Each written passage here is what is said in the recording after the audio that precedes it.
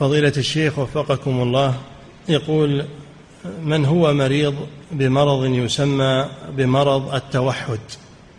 هل يجب عليه أن يؤدي الصلوات الخمس المفروضة؟ ما دام معه عقل فيجب عليه.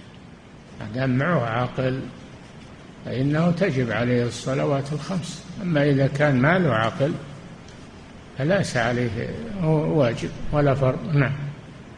إعداد مشروع كبار العلماء بالكويت أعزها الله بالتوحيد والسنة.